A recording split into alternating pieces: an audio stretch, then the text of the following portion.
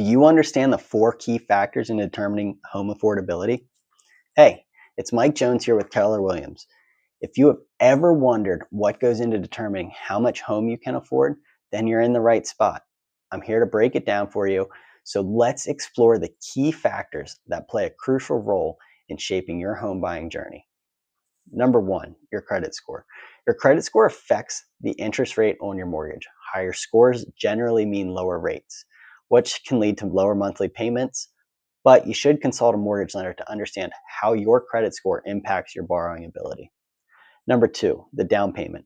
The amount you can put down upfront influences your mortgage size and your monthly payments. Larger down payments mean borrowing less and potentially having lower payments.